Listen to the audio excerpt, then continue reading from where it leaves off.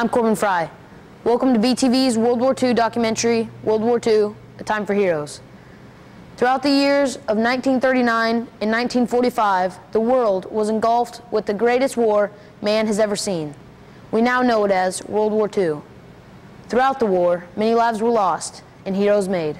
This documentary tells their stories.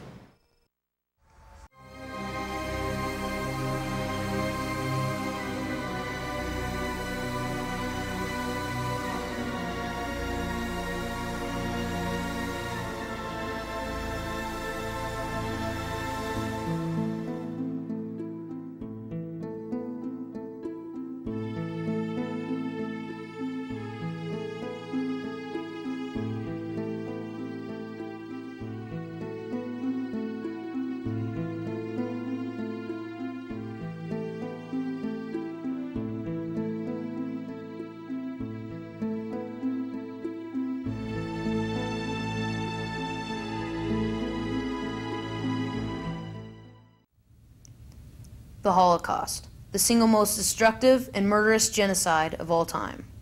Hello, my name is Corbin Fry, and welcome to the Holocaust section of BTV's World War II documentary. When the war began, Nazis started setting up concentration camps, which held Jews and various other groups.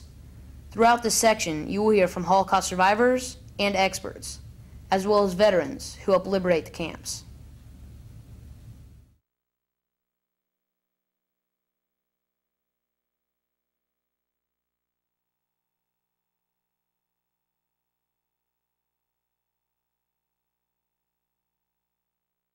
And I looked around. The first sight that I saw of this camp was the sight of the barbed wire and the barracks there. There were people everywhere here. That whole selection platform was filled with people. I I looked around and I thought, where is my mom, my dad, and my two older sisters? And I tried to look for them. I couldn't find them. As we were standing here, and the interesting thing is, the train is here. My mother never moved with the crowd that was going toward the gas chamber for selection. And there was a person, tall, with gleaming black boots, who was doing something like that which made no sense to me whatsoever. So Mengele was doing the selections that day. We stayed here and the crowd moved. I don't know how she could withstand that, but somehow we were standing. She was not going to go with everybody. And then SS was running, yelling in German, Zwillinge. Eh? We did not volunteer any information. Miriam and I were dressed alike and very much alike. And he approached us, demanding to know, are they twins? And my poor mother didn't know what to say. She asked if that was good. And the SS nodded yes. And my mother said yes.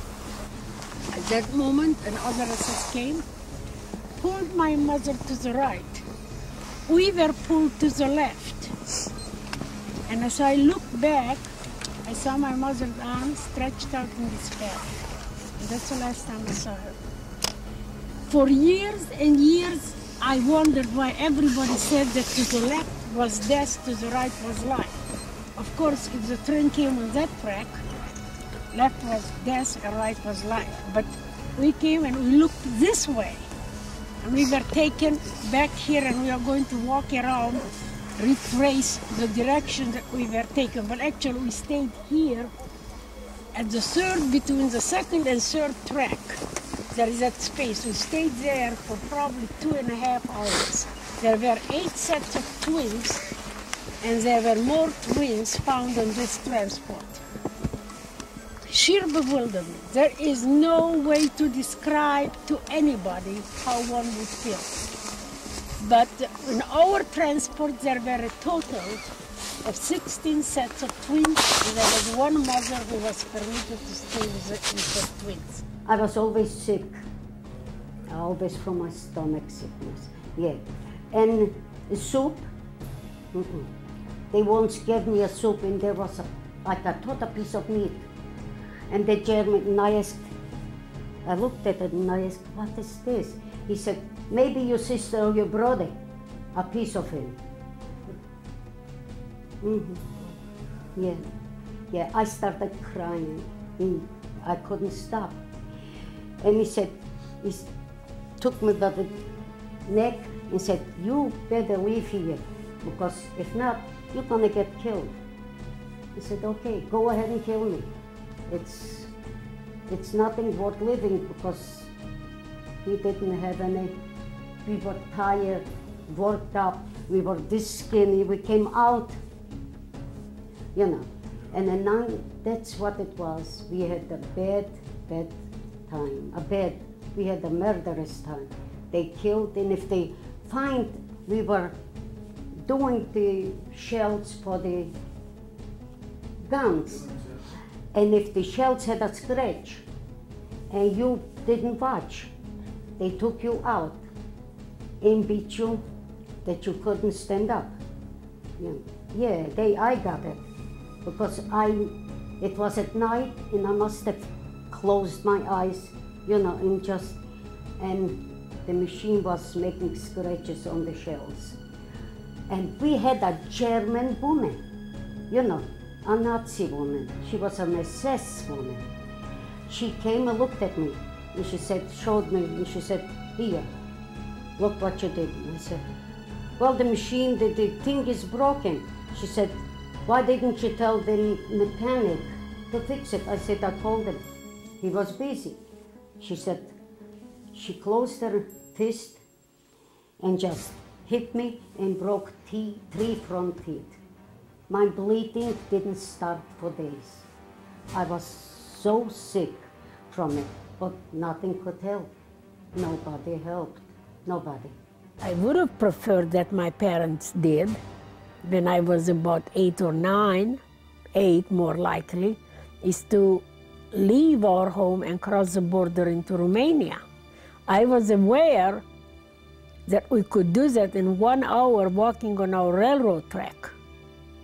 By the time my parents realized it, end of 1943, it was too late because our house was surrounded by young Nazi kids and we were practically under house arrest. You see what I mean?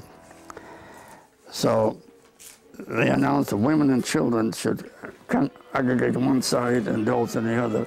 We knew this is real McCoy. This is not a picnic to Shakamak Park. This was a real McCoy.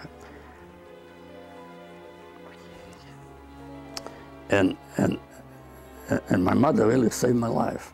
She pushed me away. She said, don't stay with us because we're all going to get killed. We're all going to be just murdered. So she pushed me aside. And I went with the adults. And when you're a young boy like you guys, when, they, when your mother pushes you aside and you don't ask any questions, but she foresaw what happened, say, she reviewed the situation real quickly, like, and, and, and she was right. The trucks, all those women and children, the infirm, the old and the sick, were taken away on trucks in a, in a forest, in a forest, and they were just mowed down like flies. And if I, and if I stayed with my mother, there would be a vacant spot in Mackey Arena at Purdue. You follow me? Because I go to the, all the home games at Purdue games. There would be one vacant seat. From the moment we stepped down on the cement platform, I, my little mind, I said, this is hell on earth if there is a hell. And therefore, I could never see anything that had anything to do with humanity or with culture or anything like that. It was a gruesome story when the cattle cars arrived to Birkenau and they embarked us and on the platform stood this handsome, gorgeous guy, Dr. Joseph Mengele. He, he was like, a, he looked like Clark Gable, but he was the sadist. He was the one who decided who should live and who should die. He, um, the first thing that he hollered out is Zwillingen austreten, twins step out. And I and my sister, we were very identical and we didn't know what to do. So uh, my sister said, we have to step out because he will know that we are twins. We didn't know what's waiting for us. After we, they took us to the barracks. Next day, they started with the experiments. They um, undressed us. We were completely nude in front of him for hours and hours. He was, the girls were taking blood from one arm and injected us with some unknown monstrosities in the other arm and we got very sick one day we were like in a fire the next day we were uh, we were like in the freezer and we all were very very sick his uh, mission was to uh, study the twins to uh, to um, um, make the german uh, next generation all blue-eyed and blonde that was his mission. And um, he was doing that every single day. He was punishing us, and we were just getting sicker and sicker.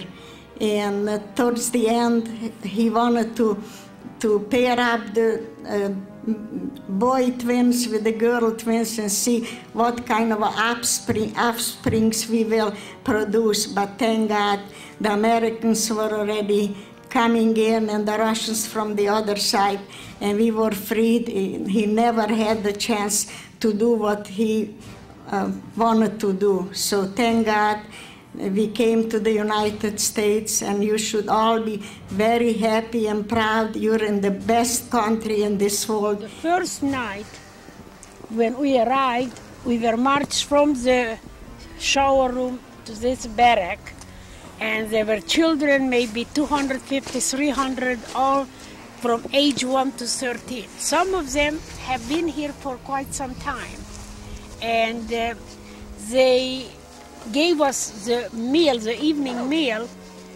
but Miriam and I, even though we had nothing to eat for four days, we didn't want to eat it because it wasn't kosher. We came from a very religious family, so we gave it to two girls who were showing us around, and they were kind of laughing at our innocence.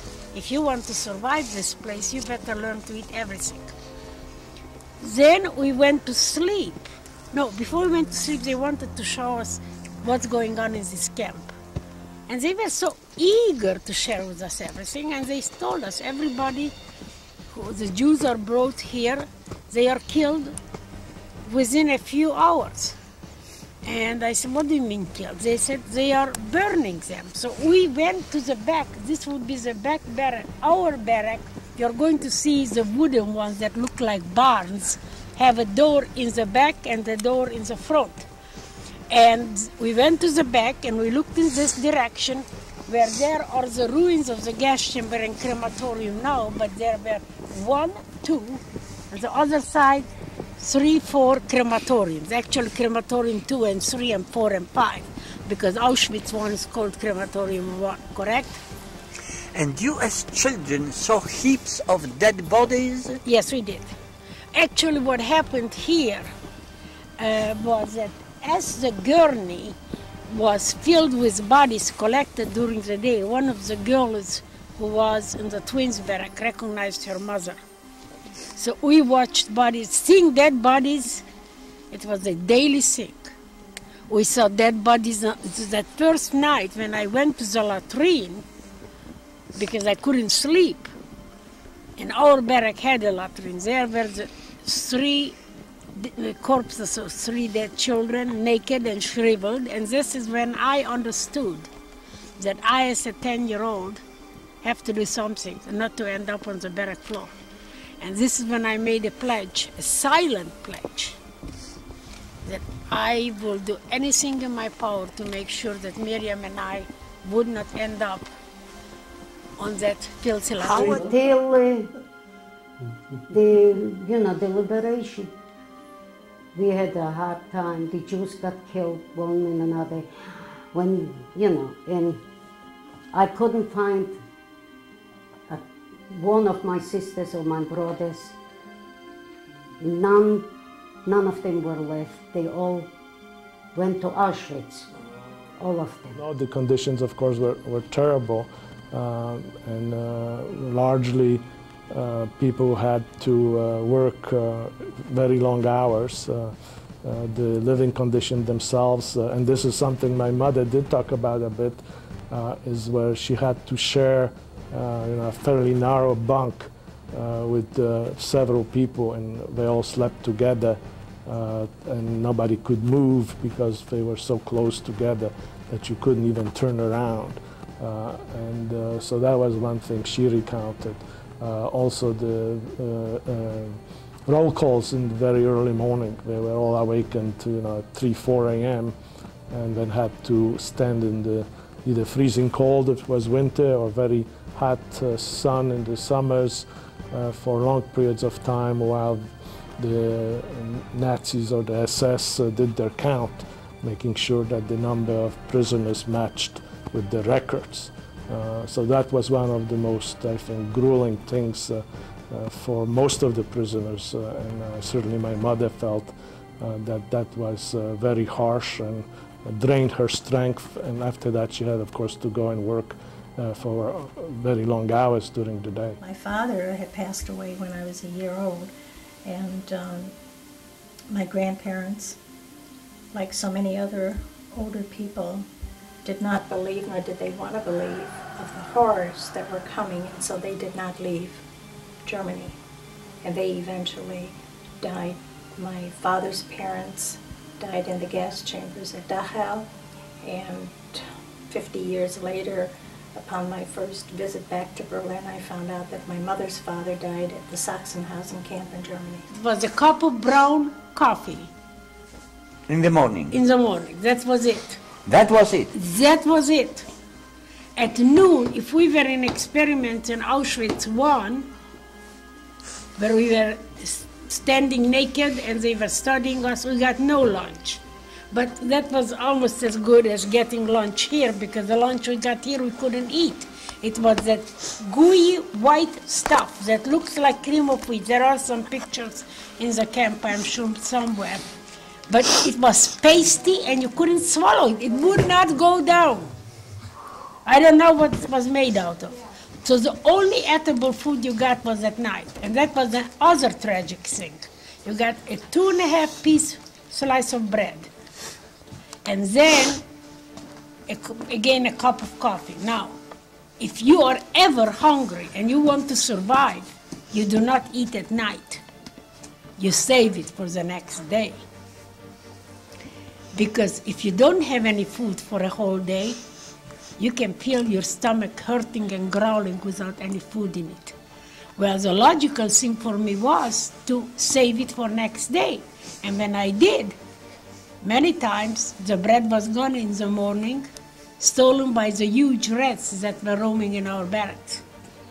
So every rats, rats huge rats. And every single night Uh, that I was in Auschwitz, I struggled to make a decision.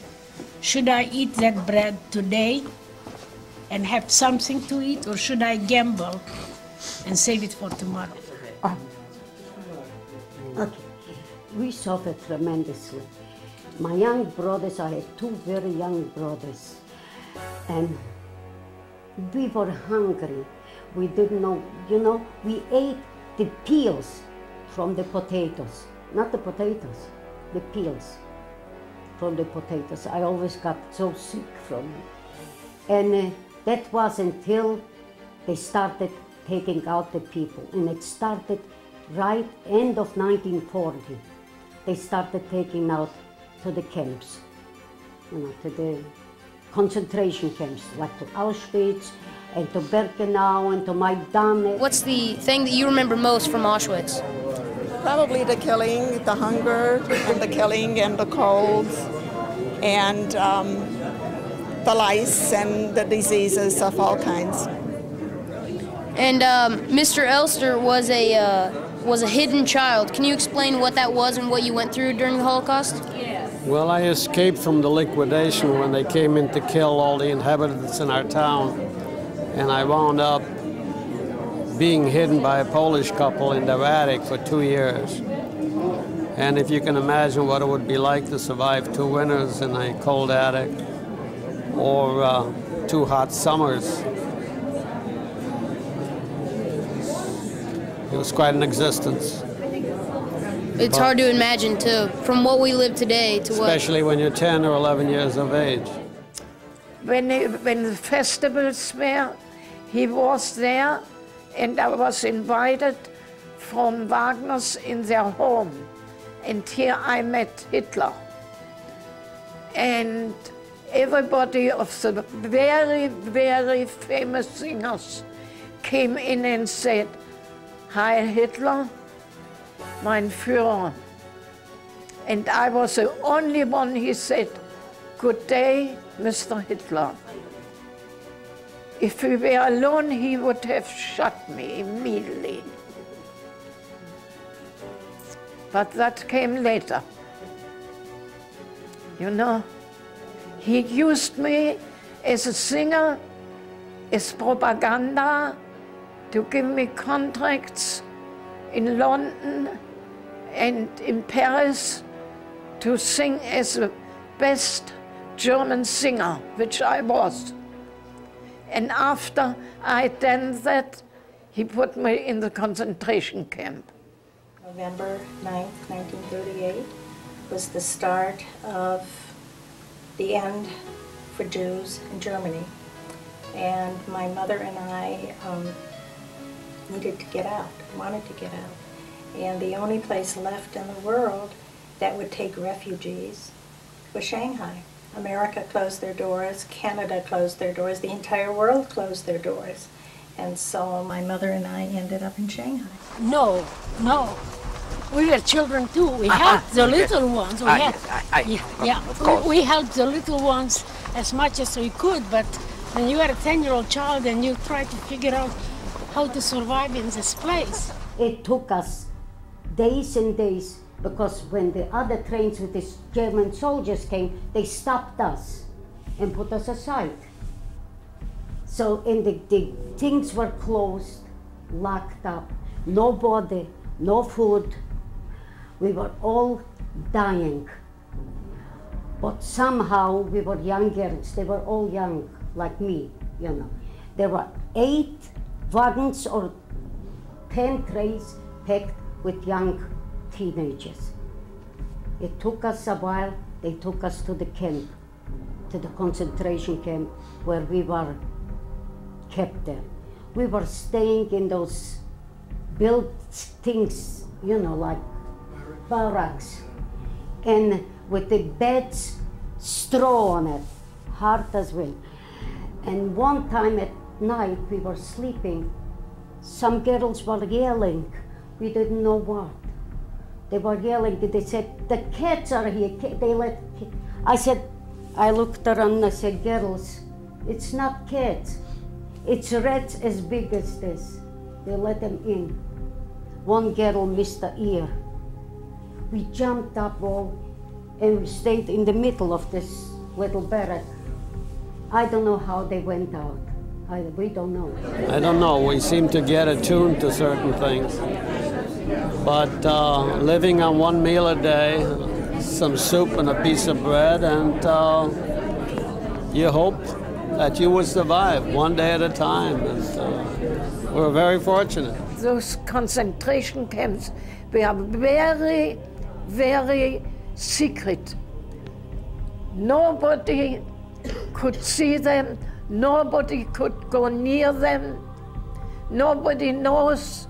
There were only rumors. They couldn't go out to Jews and I was there and then. My father more so than my mother, and he in particular uh, did talk about uh, a variety of uh, uh, experiences, uh, both uh, during the labor camps. He served in during the first part of the war, where he worked mainly in hard labor, uh, building roads in various parts of Poland. And also, he talked about uh, his experiences in Auschwitz, uh, the selection process when he first arrived uh, in Auschwitz and the ramp, and where he met, well, he was met, I should say, uh, by uh, Dr. Mengele, who's famously known, obviously, for uh, doing the selection. So he, he described those things. He also described uh, various experiences in the camp. Uh, uh, one episode that I remember well is when he got sick and was sent to the hospital there, which was always a very problematic because a lot of people who were, of course, uh, sick uh, were then uh, sent to their death. but he said that essentially he was he wouldn't attribute any, anything particular to why he was saved, but what he said just pure luck. Uh, that you know he was sort of uh, led out of the hospital the day before uh, the, the other patients were sent to the gas chambers. Um, now, uh, my mother, I think, as I said, was very much more reluctant, and she talked primarily about her experiences in the Lodz ghetto, where she spent most of her war years. Uh, and she, when the ghetto was uh, liquidated, so that uh, all the survivors uh, in January 1944 were then sent to Auschwitz, uh, and where then she spent several. Mm, months in the, in the camp there, but she only described those things fairly generally. She didn't go much into specifics. Well, I would say the best chance to live there maybe children between 15 maybe to 35 because they were still young and mm-hmm. strong enough to handle it. But the very young children like me, there weren't that many who made it. But a cousin of mine came out from Auschwitz and they he was trying to run away and the things were electroside, you know, electric. So he jumped this and a Russian, a German Nazi saw him and shot his head. He lived. He was in, in Canada, but he died after a while. And Mengele was working on him. You know, this doctor that was working on all the people. Mengele. Turned out 20,000 Jews ended up in Shanghai. And how old were you at that time? Four. Four? I was four when we left Germany. Shanghai was my, um, was my world. That's where I grew up. I had many, many Jewish people. I worked three years underground, had to escape. I was constantly in danger to be shot. Comes every minute. When I went, we worked with a code. When they said kind regards, that means I need you immediately. When I was there, went in a hotel, I, without looking behind me, I know the Gestapo man was behind me. I went to the exit out and I had several in big cities like Berlin, Hamburg, Munich, I had several people who were anti-Nazi who was hiding me in their home. Well, I remember uh, mostly when we were uh, cold and hungry and uh, working long hours, uh, very early in the morning to late at night. And uh, but we were surviving while um, the rest of my family was not that fortunate. They were sent to Auschwitz and most of them were killed over there. What? Good. I had seven siblings before the war, and after the war, only three of us survived. Uh, I had a married sister who had a husband and three children of her own, and they were all murdered in Auschwitz. Oh, actually, we knew that there were Mengele wanted to kill us. But I was not going to be the one. I was going to beat the odds. That was my attitude from the first day I arrived here. It was very bad. We, we didn't know what is, why is it coming to us? Why are they doing this to us? What did we do to any people? They said, because you Jews. They're Nazis. Because you Jews, you deserve what's coming. I was in London singing and we traveled back with the Gestapo and I was not taken, not at all. And then going home, they put me in a car and put me in the concentration camp, Buchenwald. Short after the atomic bomb was dropped on Hiroshima and Nagasaki, And when the Japanese took over in Shanghai, that is when they put us into the ghetto, which is called Hongkew. And um, we lived uh, among the starving Chinese citizens. Um, my mother worked, my mother who is an, was an intellectual, college-educated woman, whose family were bankers in Germany, worked in a soup kitchen. We had to sell everything to get money to get out of Germany. And um, we lived, um, five of us. We were lucky. We lived in one room. We didn't live in the dorm type rooms that so many of the people in the internment camp, now this was an internment camp, not a concentration camp, live. And, um, but, you know, there was no flush toilet, no no heat, no running water. Here I was among with the adults. They put us on a ship. If you look at a map, the Baltic states, Riga was the port as well as the capital of the city. They put us on a ship, and it was not a passenger ship, it was a freighter. But they, they put it down in a hull, but they keep gasoline, all kind of junk supplies. It was a, it was a freighter, a merchant marine, a merchant ship. And, and, I, and I remember we were down to like sardines. I, remember I asked, we asked for water or something. So that I still remember those German soldiers, they, they thought it was funny. They thought it was a big shot. They thought it was, it was really humorous to them. Like a bunch of animals down below asking for water, like cows or sheep. So they lowered the hose into the Baltic Sea and sprinkled on it like a bunch of fish.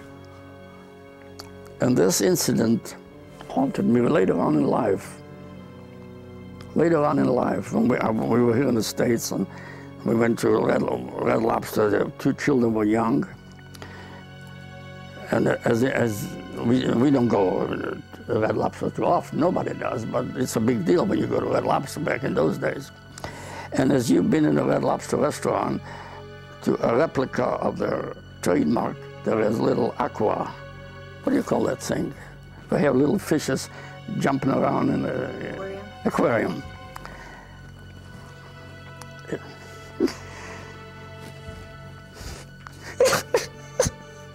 and when I saw that, it took me back to the day when I was in that ship, like a little sardine. And my son, Alex, who's adult, he's a, he happens to be a podiatrist. He's a, well, you met Alex. And he, and he was just eight, and the girl was five. And we, uh, I, took him to Red Lobster, and I never knew he would hit me like that. You know what I mean? So, and, he said, and he said, well, Dad, what's the matter? What happened? I don't want to talk about it. He, says, he doesn't say, you learn as you get older. It doesn't take much to ignite a, a sad experience in one's life. Well, I think the worst thing that, uh, uh, I don't know if it was directed with my father had a previous family uh, during the war. He was married uh, and had a small child, a five-year-old girl. Uh, and uh, what, uh, you know, the worst thing that happened to him was to lose that family. Uh, and he's the one that survived with both his first wife and this little girl whose, whose name was Rachel, and was my sister, of course, but I never knew her uh, since she, she died in 1943 in, a, in another uh, camp, uh, another extermination camp uh, known as Chełmno uh, in central Poland. So that was, uh, I think, the worst thing that certainly befell my father. in terms of my mother, uh, she, I think the, the worst experience she encountered, that's again something that's reflected in many accounts of uh, the prisoners is uh, the first moments in Auschwitz where she came uh, with her mother and her brother. Uh, and uh, at the selection process, uh, they were all separated. And her mother was sent directly to the gas chamber and she never saw her again. her brother also was separated, of course, to the men's camp he, uh, but he, uh, he did not survive. Uh, you know, he, he lived for a little bit at the camp, but did not survive. So uh, for her, the separation from her family, again, was the most difficult uh, thing. There were many Jews in, and there were lots of Germans in, and I was among the Germans, and they treated us not very good, but we got to eat and we could not say anything against the government, against uh, Hitler. But if we did, we were punished. I did. A Gestapo man got fresh with me and embraced me, and I hit him very badly in the stomach. I was very strong, and he got a knife out and put the knife in my side. They would open that hatch and drop the Zyklon B. Is that correct? That's right. And the big one. See, this is where instead of the water coming from the shower head, the Zyklon B came from there. Zyklon B operated like dry ice. And when it would fall to the floor, and then the dry ice turned to gas, and the gas was rising. So you can see the hatch there, they would go on the roof of the gas chamber and drop it in. And then once the bodies were dead, all these doors were hermetically sealed. So mm, the gas would just stay in here. Once the bodies were dead, I don't know if the doors here have a peephole. Really curious, but most of them did, had a peephole that somebody from outside could watch what was going on inside. And once everybody was dead, then they would open the door. That's what Dr. Munch testified to 10 years ago. They were here in this chamber with the Nazi doctor who watched what was going on inside. The killings, the beatings, the hunger. That's what was disturbing. I don't know, we didn't have, we wanted water. You couldn't have it. If you were thirsty, you couldn't have it. If you were hungry, you couldn't have it. They gave you what they gave you, and that's all. You couldn't ask for more. Yeah, you ask for more, you get killed. You couldn't ask any question, because if you ask a question, they shoot you. Then we had one evening to move, and there I, I took the opportunity to run away. It was dark, and I find that was on the border already. I find a car which I stopped. It was a Dutch man who took me to Holland, to Amsterdam.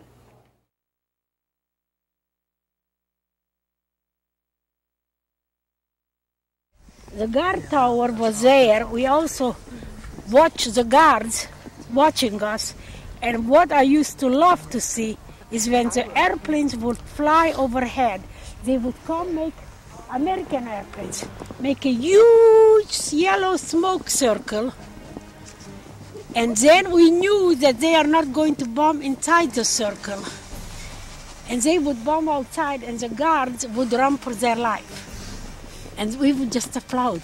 that was our. It was all little game. All, we knew that someday soon we would survive, thanks to those airplanes that were flying overhead.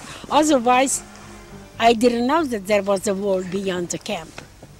Children lose their point of reference very fast. To me, the whole world was one big concentration camp. When they found the concentration camps and the way people had been treated, each unit was required to send one representative to the Holocaust camps to Burke. I think he went, they went to Belsen and, uh, well, I know they went to Belsen, but they sent these, a representative with a camera from each unit to go and get recorded evidence to take back to their unit so everybody would know what had happened, so there would be no doubt in anyone's mind. We came to a roadblock then at the other side of town, the, the engineers came up and there was trees, that the Germans had fallen trees, and that was just the site of the concentration camp. Well, we were in convoy, but they finally got the, the trees out of the way and we moved on around about a couple of miles out of town. We came to this complex which was, looked like a prison. Had a big fence all the way around. in the distance, you could see uh, smokestacks and a, a big complex. There was still smoke coming out of the, the smokestacks. And our convoy stopped. Convoys, you know, you move along a little bit and you stop and you move. Well, I was right next to the fence, and the infantry already had taken over this little uh, concentration camp. And uh, we had trucks and ambulances right across the fence from me. They were loading up the survivors, and some of them on stretchers, and some of them were walking dead. I mean, they just were skin and bones, just walking skeletons almost, and been starved to death. And they, they were not smiling. They were. I, I don't think they were. They were in a stupor. They didn't realize. I don't think that they were. Uh, were being liberated. They just uh, were just completely out of it, you know. But uh, I wondered how many of those survived. It was just a, a pitiful sight to see, and a, that was a sight that's indelible in my mind. Will always be, you know, what I saw there.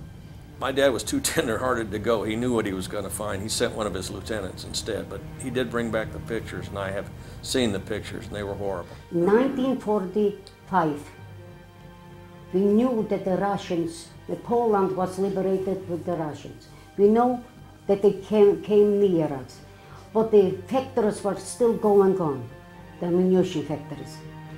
And we were working, and one day I saw a German running in, a Nazi, an assessment. And he said to one of the other Germans, you know, Jewish is like German. You understand a little. When the Germans speak, we can catch on. Yeah. So they said that the Russians are nearing. But they still didn't believe it. But then they came in. But they still started killing us. And they wanted to take us out. They brought trains. They brought trains to take us to Auschwitz. The Germans brought trains to take us to Auschwitz. But for some reason, they couldn't take all of us.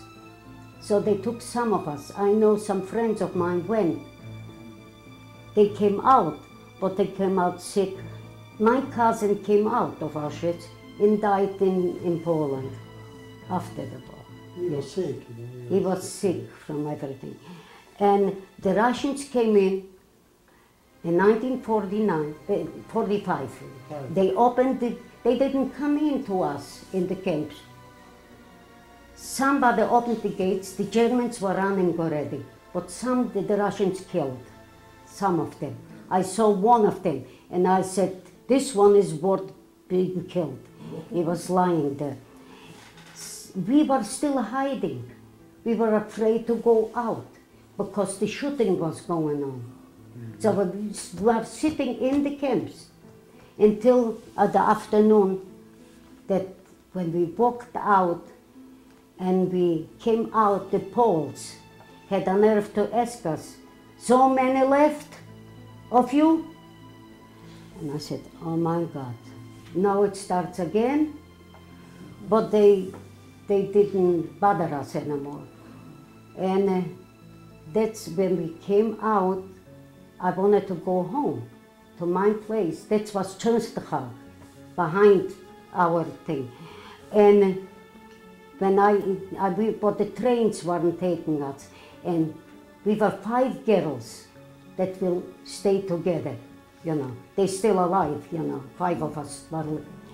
And we stayed together, and we waited until the train started. And we were sleeping in a, God, there was some place that they gave us to sleep. We were sleeping there, and we had to put the beds to the door, to the door, so the Russians wouldn't come in. These were blown up, and then they marched us to Auschwitz one in the middle of the night. And anybody who could not walk fast enough was shot on the spot. So, so they didn't move the children out when they tried moving everybody. Mm, That is not the truth.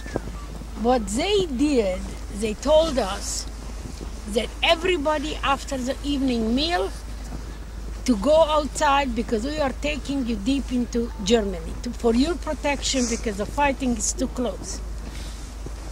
I decided that I did not like the Nazis when they were winning the war.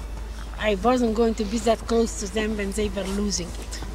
So we stayed behind in the barrack, and amazingly, they did not come in to force us out.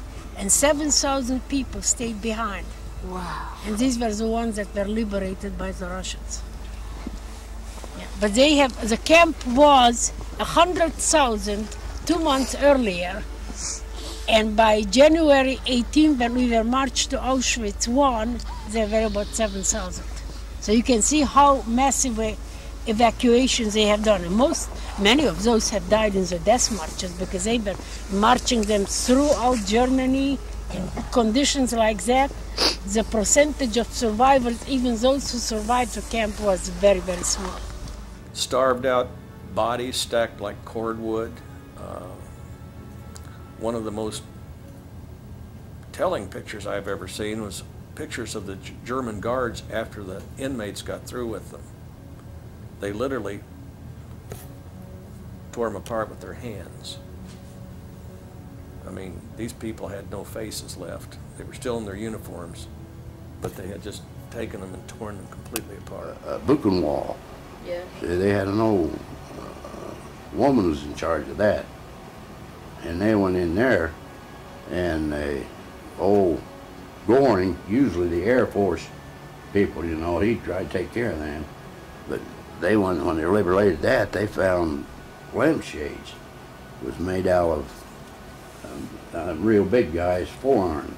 You know, still had tattoos on them. Well, they, they butchered them or skinned them and, and made lampshades out of their forearm. There was one, one woman that was in charge of a prison camp, and I don't know which one this was, but she was called the Bitch of Buchenwald, I believe it was. And uh, she had, uh, for one thing, she had a, a, a globes that go around lamps made of human skin with tattoos on them and this sort of thing. Uh, things like this, you know, that it's just hard to imagine people that can be can be that degraded. They got caught by the prisoners. When, when the tanks were coming in to liberate the camps, at this time the inmates knew that they couldn't be hurt, that the guards weren't going to get them, and they took their revenge. And they scrambled them up pretty bad. Yeah, I've, I've seen those pictures, and they still they stay with me. On the night of January 18, 60 years ago, we were marched in the middle of the night from Birkenau to Auschwitz I. When we reached these gates, the Nazis disappeared, like the earth swallowed them up. We raced for these two-story buildings because we didn't know what that meant, if they were going to start shooting and leveling us all. As we I ran into one of the buildings, Miriam and I were separated. And when I was inside, I all of a sudden couldn't find Miriam. And this is the first time since I've been in Auschwitz, I was really scared that I would never see my sister again. And so I walked in and out of these buildings until I bumped in her, into her in one of the doorways. From there on, we made a decision that anytime there is a confusing situation that we need to hold hands when we don't know what's going on. Now I can tell you that there were a set of twins, the Gutman twins, they were seven. They were separated at the death march and they didn't find each other for eight years. And there was another set of twins that the twin lives in Israel. He didn't find his twin brother ever again. So it was very confusing, very, very difficult. So we went out and walked in the street, but the Russians had a, a curfew. Five o'clock, you couldn't walk anymore in the street because this was right after the war, you know. So we five girls walking with the Russians in the, between. two Russians behind us, five girls. And we were talking Jewish. We didn't know any language, put Jewish or Polish, but we were talking Jewish. One of the Russians came and said, Are you Jewish? And I said, Of course we're Jewish. Don't you see? Look at us. we were like this and like this and dirty and not dressed. He said, Yeah, we're Jewish. He said, Well, I'm a Jewish Russian. He said, Come on, I take you and put you somewhere up. He put us up. Okay, it was fine, but we had where to sleep this day. Then they opened the Jewish, like a little organization, to check who was left, who didn't come back. Every day I went there. Every day I looked at the papers, you know. I saw my name, but it was where I was alive, you know. And I talked to one of them and I said, Where are the rest of them? She said, Go to Auschwitz. You will see where the rest of them are. They didn't come out. That was the end. Then we went every day and every day. And then when we come back to Lodz, I met him at the same organ, the little organization that they gr- uh, you know, they made, so people will know who is left and who isn't left. People come together. I met my my husband there, and we were talking, and he said his parents didn't make it. His sister and three brothers didn't make it.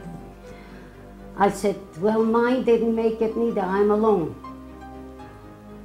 That's what all the girls were with us, you know, and uh, we were all alone. That was the thing. And we walked out in the street, and again they asked, "Too many of you left. What happened?" We thought that you all got killed in Auschwitz or in Birkenau or in Buchenwald or in Majdanek. I said, I wasn't there, but we were in another hell. The same hell that Majdanek in Buchenwald and any other camp. Oh, these uh, people were laying around, and some of them were, uh, you know, just skeleton and, and bloated up. And I seen some of them, they was with flies already uh, on the corner of their mouth and their eyes. They'd already laid eggs on their, face and you know around, and, and they were they were still alive. And uh, uh, Eisenhower, Patton had all all these German doctors. Of course, uh, let all the civilians come in there, made them go in and look at this, and um, uh, made them take care of them. Of course, the ones already dead, the skeletons, like why they, you know, took them and, and uh, they dug big trenches and threw them in there. There were open pits out there with bodies scattered every place, and uh, still smoke coming out of the smokestacks, as I said, where they had burned, were burning the bodies. And uh, some of our boys the next day uh, got to go in and, and tour the camp, and I really didn't want to see it, and I, I, it was just too much for me to, to, to see. Our, uh, our officials, our officers, uh, went into the, the town and declared uh, it was under, uh, I forget the name for it, but they, they made the officials of the town come out with their wives and tour the camp. Of course, the wives, a lot of them got sick, and uh, but they wanted them to see. They said we didn't know this was going on. They were only two mile away, and the smell was from the burning bodies was permeating the whole valley. I, they, you know, they, there's no way they could not have known what was going on. And uh, uh, I don't know what camp it was, but Eisenhower and Patton toured one of the camps also.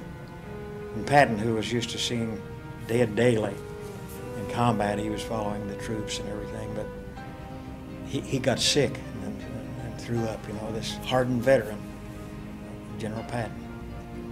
But uh,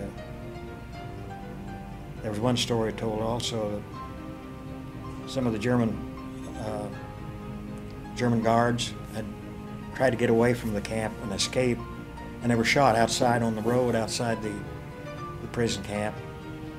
And our tankers who had viewed what was going on, they came to these bodies and it didn't bother. They didn't even bother to go around them. They just ran right over, which was, this was war, you know, and it was a sad thing to see, but uh, We didn't get inside of the prison, but we saw piles of bodies and bones outside of the prison. And it looked like it was quite a few. Now, I have no idea how many there was, but uh, probably was.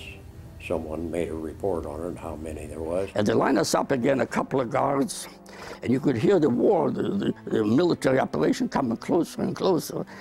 I said, boy, I wish I could. Who, I didn't know who would be there, British or Allied forces. Somebody would be there on the other side. It wouldn't be the Russians, so it would be Allies. I don't know whether Americans British. We didn't know who, who, for, where, who the enemy was for them, or who our friends would be. You see what I'm saying? So, so and one time, you know, the, like, adrenaline keeps flowing, and they line us up again. And we went to the, as I said, South Third Street. It was all rubble on both sides. No big deal. I mean, I was sitting here, and the teachers over there were building used to be. So if I decided to make a run for it, a hole somewhere, I just would, make a, would have to run just maybe a few meters, a few yards, that's all. And then, I, uh, my, as I say, my emotions, and all of a sudden, you know, like you fellas follow football. Remember Marshall Faulk for the Colts a few years ago? You remember? So I, and I knew nothing about college football at the time. And I, I, I, said to myself, I ran those few yards zigzag. I figured my childish attitude would be that the bullets wouldn't be able to hit me.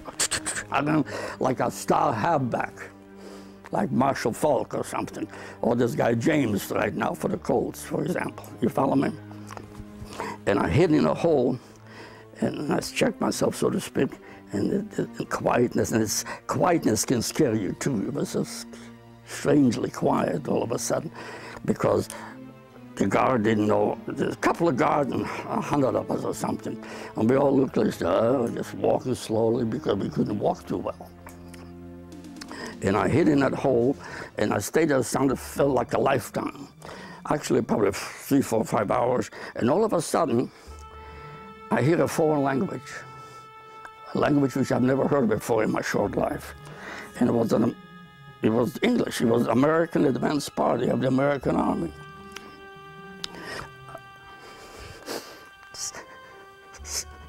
Sometimes happiness brings out tears in a person. You follow me? So I jumped, I came out of the hole, and I stood there, and this GI, I didn't know who he was. It turns out to be a GI, American. So he looked at me, and he turned to his, he happened to be a truck, a, a mess truck. You know, in military term, the mess truck is a truck which shows the kitchen. It's, someday you learn that, see. It's a mess truck. And he turned to his truck, and he handed me a Coca-Cola. So my first encounter with freedom I worked for years I, in the prison as you lie in the, lay in the bunk, lie in the bunk, bunk. What would the first moment look like of freedom, if there is such a thing? Because it was millions of miles away, freedom, the idea of freedom. So I never knew what freedom was once they put you in the concentration camp for four years. And even in the, living in Riga as a civilian, the anti-Semitism, they hated Jews badly. I mean, I remember as a young boy when the four guys standing over here, I'd walk across the street over here. They'd always beat you up. They know you were Jewish. But anyway, I stood there. I couldn't speak his language. So he turns to his truck and gives me a Coca-Cola. Well, he didn't exactly have a lot of love for the German military at that time. I can tell you that right now. Particularly the, not the rank and file German soldier, but the, the Nazi, the hardcore people that, that perpetrated this type of uh, atrocity. He just had no use for them at all. I saw the uh, I saw the people, or the I couldn't imagine people that could uh, treat other human beings uh, as they did in these prison camps. You know, you wouldn't treat an animal like some of these human beings that uh, were in prison camps. Hitler was a real horrible man to do that Perhaps the things that we should emphasize, uh, because we tend to concentrate uh, a lot on the negative, on the bad, terrible things that happened there. And I think we should certainly recognize that. Uh, but I think uh, we need also to sort of understand that even in the midst of the horror that Auschwitz was, that place still had love and it, it had laughter. Um, people, uh, uh, you know, sort of tried to make the best in those conditions, and the fact that they were able to, to love and to laugh uh, is, I think, something that we also need to be aware of, and and, uh, and I think that speaks to sort of the human condition, uh, that even in you know the most terrible of things, uh, when pe you know people are mistreated uh, in a way that is uh, incomprehensible. They, they still have the ability and the strength to reach within themselves, uh, to find something within themselves that allows them to appreciate uh, the good part of, of humanity. Uh, and I think that we need to recognize, therefore, that in this horror of horrors, uh, human dignity survives. Every single survivor, every single one of them, in my opinion, should be extremely proud that they survived, that they have triumphed, and I think those who can function without the big baggage that most of them still carry should be even prouder. Because it's not enough to survive a tragedy. You still need to be a happy human being. Throughout the course of the war, 11 million innocent men, women, and children, mainly of the Jewish religion, were murdered in the Holocaust. While it is impossible to say that any good came from the Holocaust, we try to make the best of it and learn from the mistakes of others and hope that something like this will never happen again. I am deeply touched that you are here with me in Auschwitz. I am glad to see Many heads of state make the journey to learn that the price of unchecked hatred and prejudice is a bold tragedy like Auschwitz.